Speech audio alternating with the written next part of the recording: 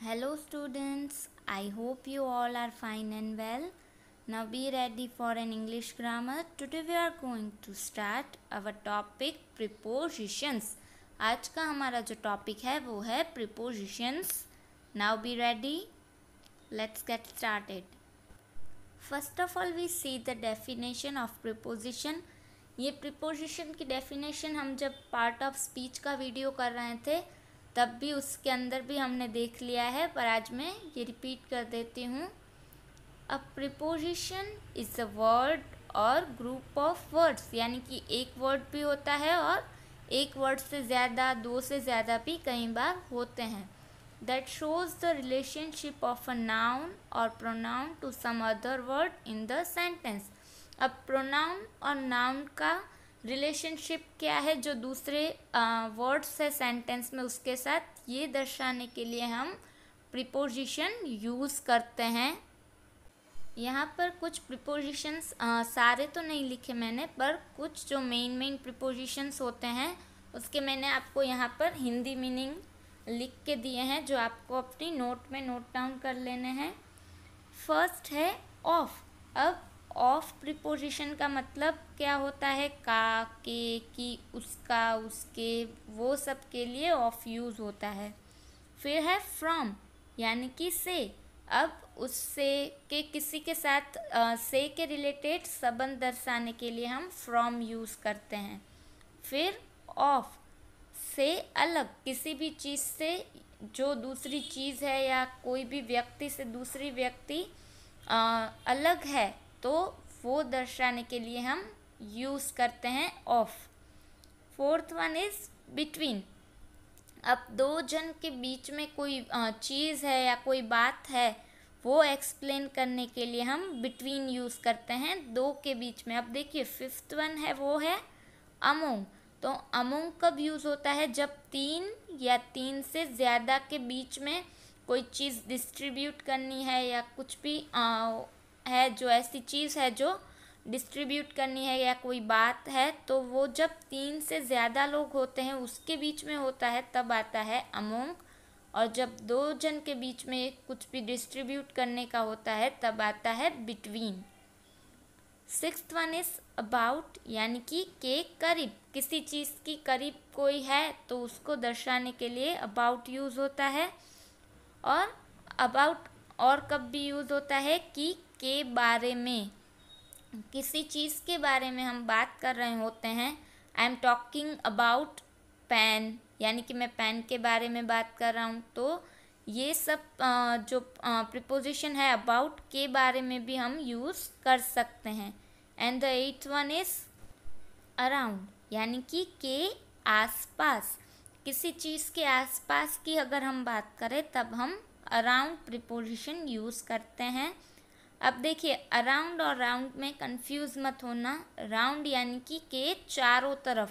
किसी चीज़ के चारों तरफ़ की जब हम बात करते हैं, तब हम राउंड यूज़ करेंगे और किसी चीज़ के आसपास की हम बात करते हैं, तब हम around use as an example there are many trees around me तो यहाँ पर आएगा मेरे आसपास कई सारे ट्रीज़ है तो इसके लिए आएगा अराउंड फिर tenth is to two words यानी कि के प्रति। एंड टू और टू वर्ड्स कब यूज़ होता है? की और के लिए भी यूज़ होता है किसी चीज़ की और।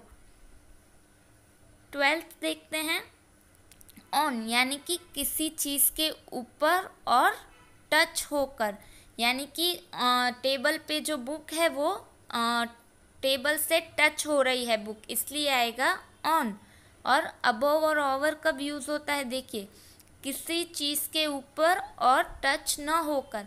कोई चीज़ हमारे ऊपर है, पर वो टच कर नहीं रही है तो यहाँ पर आएगा ओवर या अबोव फिर ओवर कब यूज़ होता है? किसी चीज़ के ऊपर और गतिशील अवस्था में। यानी कि वो जो चीज़ है, वो मूवमेंट कर रही होती है, तब आएगा ओवर अगर वो कोई मूवमेंट नहीं कर रही और हमसे टच भी नहीं हो रही तो आएगा अबोव और वो हमारे ऊपर है और मूवमेंट भी कर रही है, यानी कि हलन चलन भी कर रही है तो आएगा ओवर फिर आता है बाय यानी कि के द्वारा.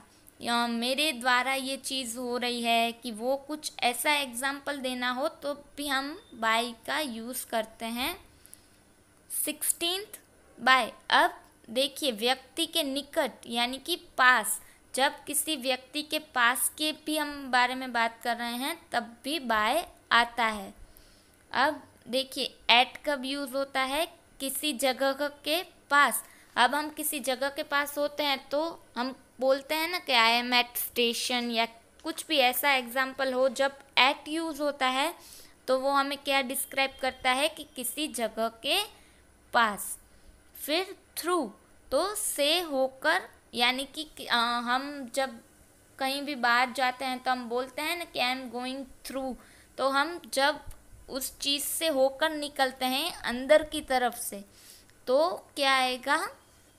थ्रू एंड बाय बाय का भी मीनिंग होता है से होकर पर बाहर की तरफ़ से ठीक है? अब आप क्लियर हो जाइएगा कि थ्रू से होकर अंदर की तरफ़ से के लिए यूज़ होता है और बाय कब होता है? जब हम बाहर की तरफ़ से पसार होते हैं, यानी कि बाहर की ओर से निकलते हैं, तब हम बाय यूज़ करते हैं और किसी चीज़ की अंदर से हम निकलते हैं, यानी कि रोड हो या कोई भी हो, तब हम थ्रू यूज़ करते हैं। एंड बाय एक बाय, एक और तरह भी यूज़ होता है कि पार्ट्स ऑफ़ बॉडी के साथ कोई काम करना।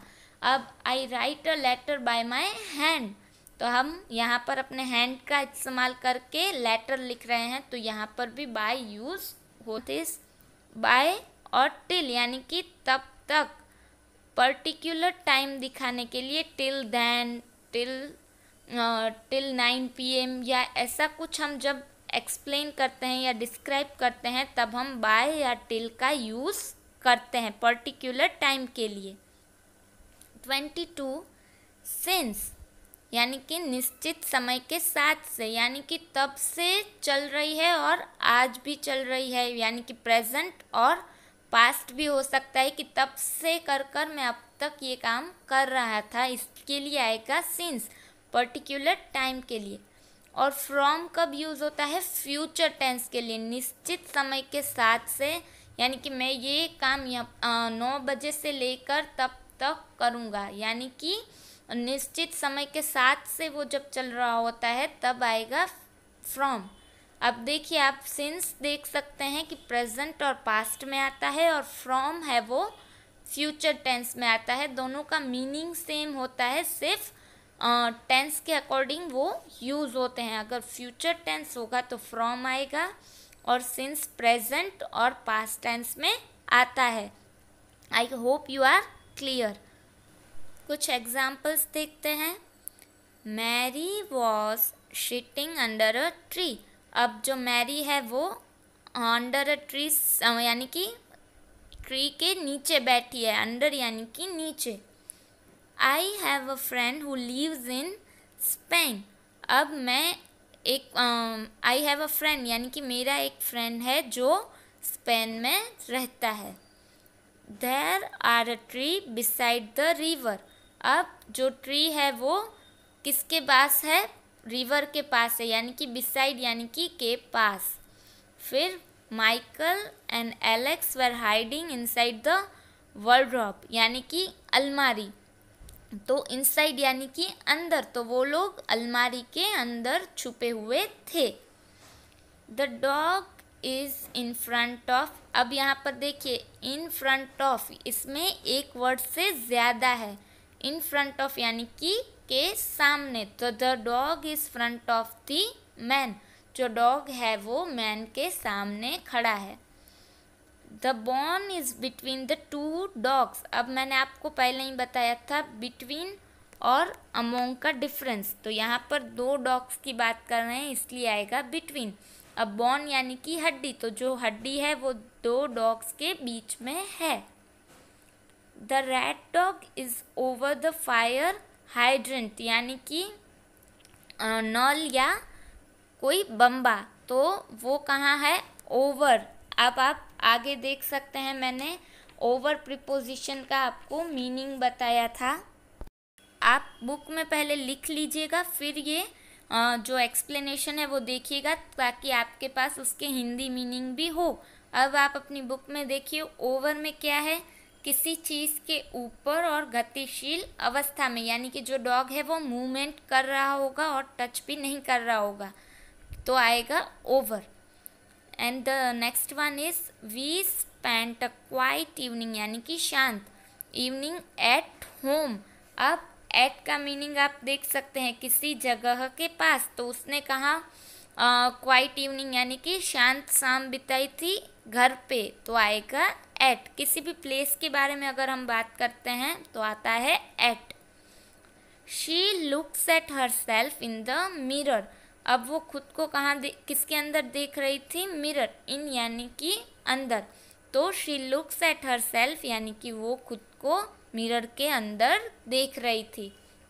आज मैंने जो भी आपको करवाया है, वो आपको लिख देना है। ये हमारी एक्स्ट्रा एक्सरसाइज है, इसलिए आप, हमारे ग्रामर बुक में ये अवेलेबल नहीं है। तो आपको ये ग्रामर में लिख के फिर इसको अच्छे से समझ लेना है। नेक्स्ट वीडियो में मिलेंगे, तब हमारी जो जनरल इंग्लिश कोर्स की ग्रामर बुक है, उसके अकॉर्डिंग एक्सरसाइज देखेंगे। तब तक आप ये लिख लीजिएगा और अच्छे से याद भी कर लीजिएगा। नेक्स्ट वीडियो में मिलेंगे, तब तक गुड बाय हैव